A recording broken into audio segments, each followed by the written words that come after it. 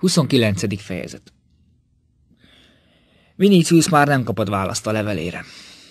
Petronius nem írt, mert elkészült rá, hogy Cézár bármelyik napon elrendelheti a Rómába való visszatérését. Ennek híre el is terjedt a városban, és nagy örömet keltett a csőcselék körében, hiszen már annyira vágytak a cirkuszi játékok meg a gabona és olajosztás után, amelyekből óriási készleteket halmoztak fel Osztiában. Végül Helios, Nero szabadosra bejelentette a szenátusban, hogy Cézár hazatér. De Nero a Mizenum foknál udvarával együtt hajókra szállva lassan haladt hazafelé, mert közben kiszálltak a partmenti városokban, részint, hogy megpihenjenek, részint, hogy Cézár felléphessen a színházban. Minturnéban, ahol szintén nyilvánosan énekelt, tízegy néhány napot töltött, sőt azon gondolkozott, ne térjene vissza Neápolisba, és ne ott várják ebbe a tavaszt, amely egyébként a szokásosnál korábban érkezett és melegebb volt. Vinicius ez alatt az egész idő alatt házában bezárkózva élt, Lügyára és amaz új dolgokra gondolva, amelyek lelkét elfoglalták, és számára eddig idegen új fogalmakat és érzelmeket vittek bele. Csak Glaukuszt az orvost látta időnként, akinek minden látogatása benső örömmel töltötte el, mert Lügiáról beszélgethetett vele. Glaukus nem tudta ugyan, hol találta leánymenedéket, de biztosította Vinicius, hogy a vének gondos oltalma alatt áll. Egy alkalommal Vinicius szomorúságán megindulva elmondta neki, hogy Péter apostol megfette Kriszpuszt azért, mert Lügiának személyre hányta földi szerelmét. Az ifjú Patricius ezt halván elsápadta megindultságtól. Ő maga is sokszor érezte, hogy ő sem közömbös Lügia számára, de gyakran kétségeskedett és bizonytalankodott is. Most azonban először hallotta egy idegen, mégpedig keresztény ember szájából vágyainak és reményeinek igazolását. Hálája első pillanatában rohanni akadt Péterhez, mikor azonban megtudta, hogy nincs a városban, mert a környéken tanít, Glaukusnak könyörgött, hogy hozza előtt hozzá, és megígérte, hogy ezért gazdagon megajándékozza a közösség szegényeit. Azt is hitte, hogy ha a Lügia szereti őt, akkor minden akadály elhárult, mert ő bármely pillanatban kész megadni a tiszteletet Krisztusnak. De Glaukus, noha igyekezett őt rábeszélni, hogy keresztelkedjék meg, nem merte biztosítani, hogy ezáltal mindjárt Lügiát is megnyeri, és megmagyarázta neki, hogy a keresztséget magáért a kereszténységért és a Krisztus iránti szeretetért kell kívánni, nem pedig más célokért. Szükséges, hogy az ember lelke is keresztényé legyen, mondta. Vinicius pedig, bár minden akadály háborgást keltett benne, már kezdte megérteni, hogy Glaucus, mint keresztény ember úgy beszél, ahogyan beszélnie kell. Maga sem volt tisztában azzal, hogy a természetében beállott legmélyreható változások egyike az, hogy még régen minden embert és minden dolgot csupán saját önzésén keresztül mért fel, most lassanként hozzászoktatta magát a gondolathoz, hogy más szem másképpen nézhet, más szív másképpen érezhet, és hogy az igazság nem mindig azonos az ő egyéni érdekével. Gyakran vágyott a Tarsuszi Pál után is, akinek szavai kíváncsivá tették és nyugtalanították. Előre rendezgette az érveket, amelyekkel majd megcáfolja Pál tanait, Gondolatban ellenkezett vele, de mégis szerette volna látni és hallani. De Pál elutazott Arikiába, és mikor aztán Glaucus látogatásai is egyre ritkábbak lettek, Vinicius teljesen magára maradt. Ekkor ismét kezdte végigjárni a szuburrával szomszédos sikátorokat és a transztibéris szűk utcácskáit, reménykedve, vagy legalább messziről megpillantja Lügiát, de mikor ez a reménye is megcsalta, kezdett erőt venni rajta az unalom és a türelmetlenség. Végül elérkezett az az idő is, hogy régi természete ismét olyan erővel szólalt meg benne, ami ennél dagály idején a hullám tér vissza a partra, amelyet elhagyott. Úgy érezte, hogy ostobaság volt feleslegesen megtömnie fejét olyan dolgokkal, amelyek ilyen szomorúságot hoztak rá, és hogy mindent el kell fogadni az élettől, amit csak lehet. Elhatározta, hogy elfelejti Lügiát, vagy legalábbis rajta kívül keresi a gyönyört és az élvezeteket. Érezte azonban, hogy ez az utolsó kísérlet, s vakon is az őt annyira jellemző hévvel és energiával vetette magát az élet árjába. És az élet, mintha maga is bíztatta volna erre. A télen kihalt, elnéptelenedett város kezdett újraéledni a reménységtől, hogy Cézár hamarosan visszatér. Ünnepélyes fogadásra készültek. Közben közeledett a tavasz, az albai hegyek csúcsáról jövő afrikai szelek fuvallatára eltűnt a hó, A kerti pázsitokat ibolya borította. A fórumokon és a marsmezőn nyüzsgött a sok ember az egyre erősödő napsütésben. A Via Appia megszokott városszéli kocsisétányán megindult a díszes járművek forgalma. Már kirándulók is kiártak az albai hegyekbe. A fiatal nők azzal az ürügyel, hogy Junónak akarnak tiszteletet adni Lanuviumban, vagy Dianának Arikiában, kiszöktek házukból, hogy a városon kívül keressenek élményeket, társaságot, találkákat és gyönyöröket. Itt Vinicius egy napon a pompás díszfogatok között megpillantotta Petronius Chrysotémiszének karrukáját, mely előtt két molosszuszi vadászkutya futott, és a kocsit az ifjak és a hivataluk által Rómában tartott öreg szenátorok serege vette körül. Maga hajtotta a kocsi elé fogott négy apró korzikai lovat, mindenfelé osztogatta mosolyát és arany ostornyelének könnyed legyintését. De amikor Vinicius megpillantotta, megállította a karrukát, az ifjút maga mellé ültette, és elvitte lakomájára, mely egész éjszaka tartott. Vinicius úgy leitta magát a lakomán, hogy azt sem tudta, mikor vitték haza. Arra azonban emlékezett, hogy mikor Chrysotémis lőgia felől kérdezősködött, ő megsértődött, és már részegen az asszony fejére öntött egy serleg falernomi bort. Most, hogy erre már józan fejjel visszagondolt, még mindig haragot érzett. De egy nappal később Chrysotémis, a sértés nyilván elfelejtve, meglátogatta őt házában, majd ismét magával vitte a Via Appiára, azután Viniciusnál vacsorázott, és vacsora közben bevallotta, hogy nem csak Petroniuszt, hanem annak lantosát is már régen megunta, és most szabad a szíve. Egy hétig együtt mutatkoztak, de ez a viszony nem ígérkezett tartósnak. S noha a Falernomi borral történtek óta lőgiat neve többé nem került szóba közöttük, Vinicius mégsem bírta őt elfelejteni. Mindig az volt az érzése, hogy a leány szeme rajta függ, és ez mint a félelemmel töltötte volna el. Hiába haragudott önmagára is, nem bírt megszabadulni sem attól a gondolattól, hogy Lőgiának szomorúságot okoz, sem a fájdalomtól, mely gondolatból fakadt. Az első féltékenységi jelenet után, amelyet Krizotémis rögtönzött neki azért, mert két szíriai leányt vásárolt, goromban elkergette őt magától. Nem hagyta ugyan mindjárt abba a gyönyörök hajhászását és a kicsapongást, sőt, mint egy lügia bosszantására folytatta tovább, de a végén rájött, hogy szinte lügiára gondol, hogy egyedül ő a mozgatója minden rossz és minden jó cselekedetének, és hogy lügián kívül valóban semmi sem érdekli. Ilyenkor aztán rossz lett a szája íze, és elfogta a fáradtság. A gyönyöröket megutálta, és csak a lelkiismeret furdalás maradt meg utánuk. Érezte, hogy milyen nyomorultás üljett. És ez az új érzés méretetlen ámulatba ejtette, mert régebben mindent jónak tartott, ami neki kedvezett.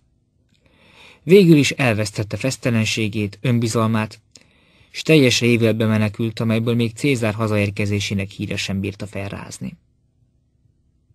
Most már semmi sem érdekelte, és még Petroniushoz sem ment el mindaddig, amíg nagybátyja meg nem hívta, és el nem küldte érte saját gyaloghintóját. Bár Petronius szeretettel fogadta, ő, mikor megpillantotta, kérdéseire kelletlenül felelgetett, végül azonban a régóta magába folytott érzelmek és gondolatok kirobbantak, és bő szóáradatban törtek ki belőle. Még egyszer részletesen elmondta Lügia a felkutatása és a keresztények között töltött idő történetét, mindent, amit ott látott és hallott, ami agyán és szívén átvillant, és végül elpanaszolta, milyen káoszba süllyedt, ami elrabolta nyugalmát, józaneszét és ítélőképességét. Semmi sem izgatja, semmi sem ízlik neki, nem tudja mihez tartsa magát és miként viselkedjék. Kész Krisztus tisztelni is, meg üldözni is, megérti tanainak magasztosságát, és ugyanakkor leküzdhetetlenül írtózik is tőlük. Érzi, hogyha a lügiát megszerezné is, nem lehetne teljesen az övé, mert osztoznia kellene rajta Krisztussal. Végül is úgy él, mintha nem élne.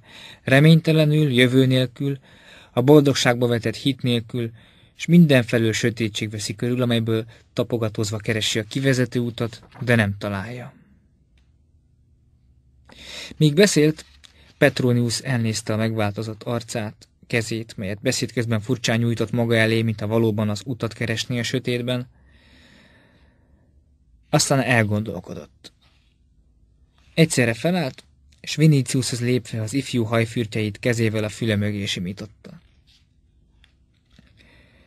Tudod, hogy halántékodnál van néhány őszhajszálad? Az lehet, felelte Vinicius. Azon sem csodálkoznék, ha hamarosan egészen megőszülnék. Aztán csend lett. Petronius okos ember volt, és sokszor gondolkozott már az emberi lélek és az élet rejtelmein.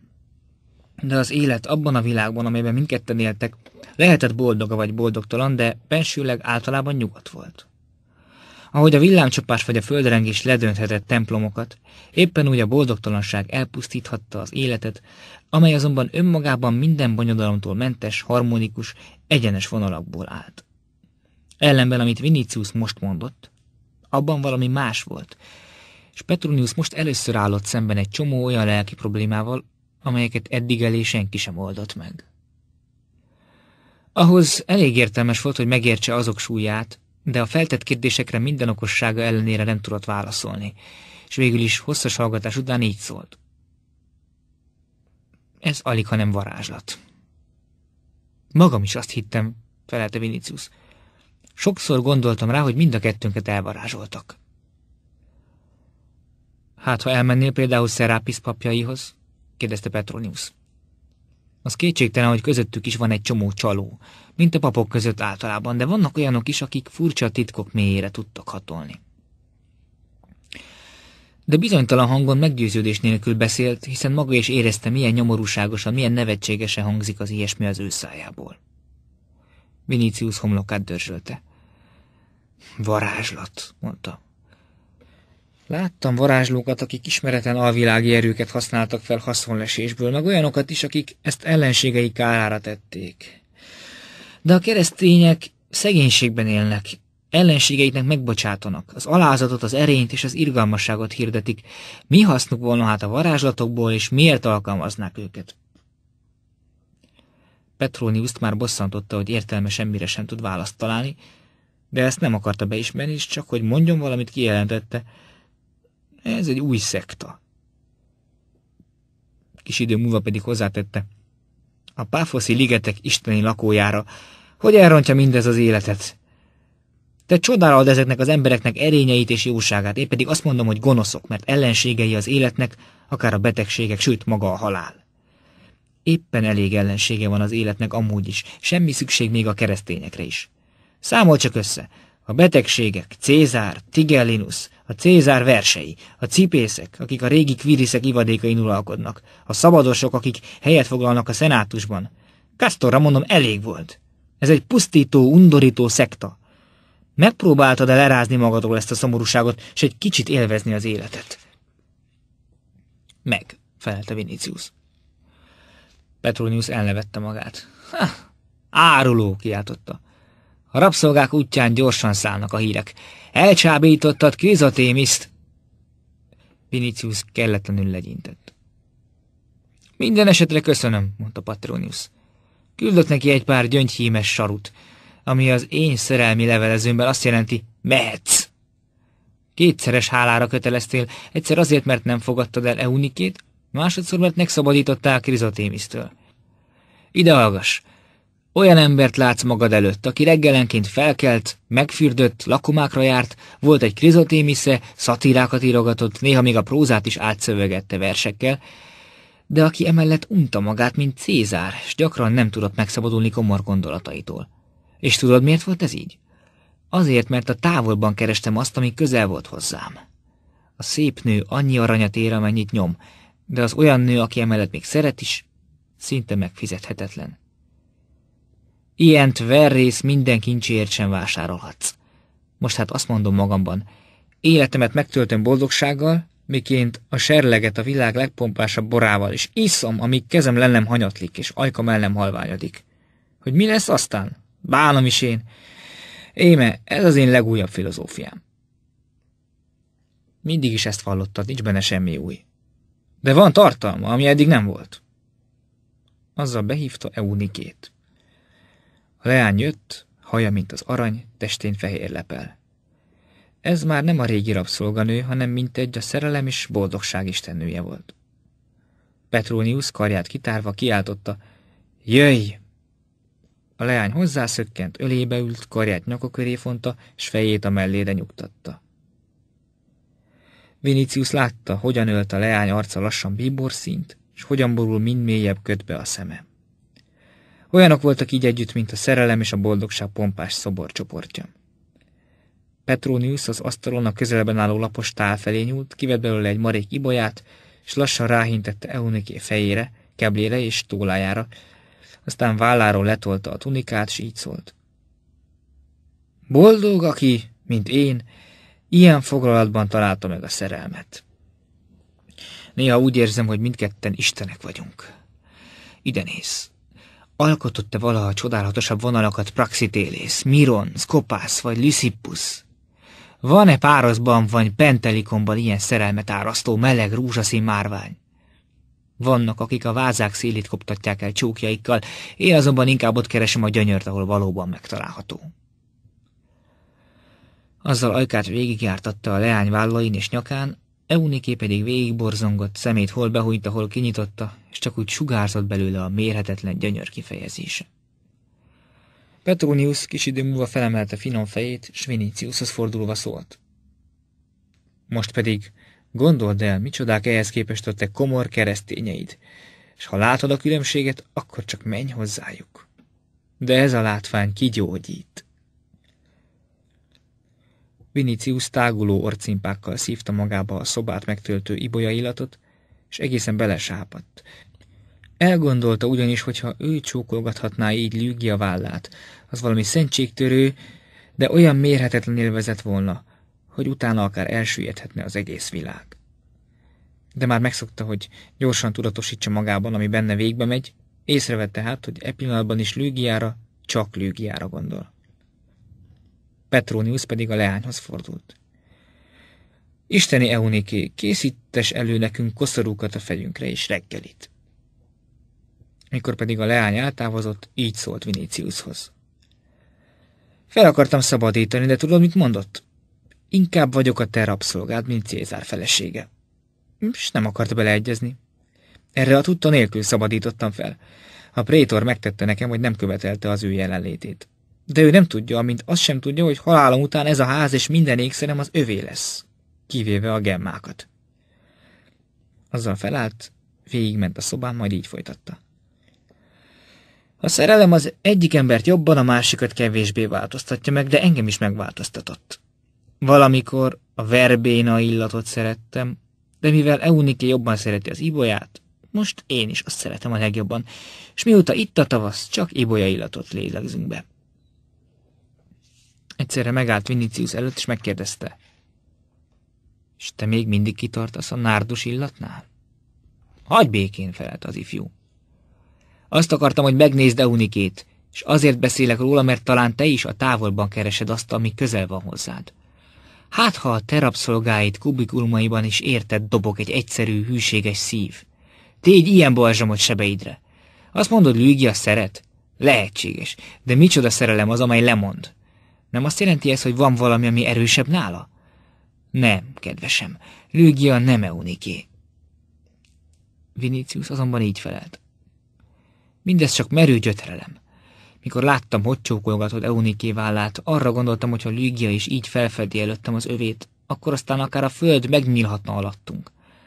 De már a puszta gondolata is olyan félelem fogott el, mintha egy szűzre törtem volna rá, vagy egy istenséget akartam volna meggyalázni. Lügia nem Euniké, csak hogy én másképpen értelmezem ezt a különbséget, mint te. Neked a szerelem az orcimpáidat változtatta meg, tehát jobb szereted az ibolyát, mint a verbénát, Nekem azonban a lelkemet cserélte ki. Én tehát minden nyomorúságom és vágyam ellenére jobb szeretem, hogy Lügia olyan, amilyen, hogy sem olyan lenne, mint a többiek. Petronius vállat vont. Akkor hát semmi sérelem nem esik rajtad, de én ezt nem értem. Vinicius lázasan helyeselt. Úgy van, mi már nem érthetjük meg egymást. Ismét pillanatnyi csend állt be, aztán megint Petronius kezdte a beszédet. A hádész nyelni el a keresztényeidet. Eltöltöttek nyugtalansággal és tönkretették életérzékedet. Nyelni el őket a hádész. Nagyon tévedsz, ha azt hiszed, hogy az jótékony vallás. Jótékony az, ami az embereknek boldogságot ad, vagyis a szépség, a szerelem és az erő. Ők pedig mindezt hiába valóságnak nevezik. Abban is tévedsz, hogy igazságosak, mert ha a rosszért jóval fogunk fizetni, akkor mivel fizessünk a jóért? Ha pedig ezért is, meg amazért is egy azon fizetség jár, akkor miért legyenek az emberek jók? Nem, a fizetség nem azonos. Az ő vallásuk szerint azonban csak a túlvilági életben kezdődik, amely örökkévaló. Ezen nem vitatkozom, mert ezt majd meglátjuk, ha ugyan megláthatunk valamit szem nélkül. Egyelőre pedig ezek mind ügyefogyottak. Ursus megfojtotta Krotont, mert tagjai olyanok, mint az acél, de lágy szívűek, már pedig a jövendő nem lehet a puháké. Számukra az élet a halál pillanatával kezdődik. Ez úgy hangzik, mintha valaki azt mondaná, hogy a nappal az éjszaka beálltával kezdődik. El akarod te rabolni Lügiát? Nem. Nem fizethetek neki gonoszszal a jóért, és megesküdtem, hogy ezt nem teszem. Felszándékozod venni a Krisztus vallását? Fel, de nem bírja a természetem. És el tudod felejteni Lügiát? Nem. Akkor menj utazni. Rabszolgák e pillanatban jelentették, hogy a reggeli készen van, de Petronius azt hívén, hogy jó ötletet támadt, még a triklinium felé mentek, tovább beszélt. Jó darab világot bejártál, de csak mint katona, aki mindig siet rendeltetési helyére, és útját sehol meg nem szakítja. Gyere velünk Akaiába. Cézár a mai napig sem vetette el az utazás tervét. Útközben mindenütt megszakítja útját, énekel, összeszedi a koszorúkat, kifosztja a szentélyeket, és végül, mint triumfátor tér vissza Itáliába. Olyasmi lesz ez, mint Bacchus és Apollo vonulna be egy szemében. Az augusztiánusokat, férfiak és nők egyaránt, ezer citera, Castorra mondom, ezt érdemes megnézni, mert ilyent még nem látott a világ.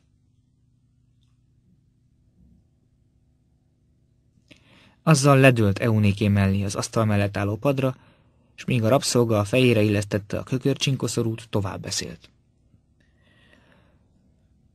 Mit láttál te korbuló szolgálatában? Semmit.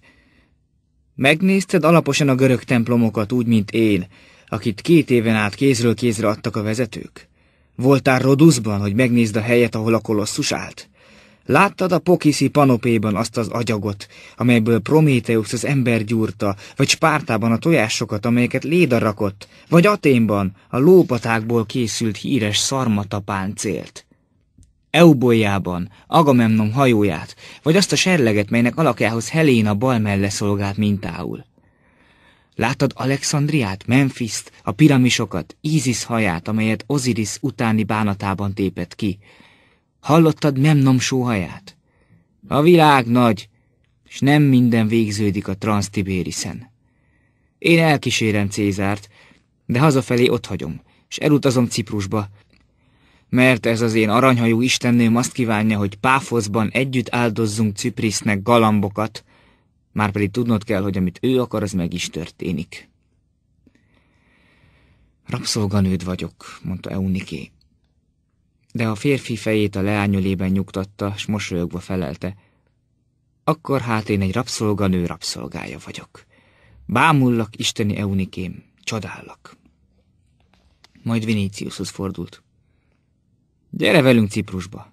De el ne feled, hogy még azelőtt találkoznod kell Cézárral. Baj, hogy még eddig nem voltál nála. Tigellinus képes ezt károdra kihasználni. Személyes gyűlöletet nem érez ugyan irántad, de szeretni már csak azért sem szeret, mert az unokaöcsém vagy. Majd azt mondjuk, hogy beteg voltál.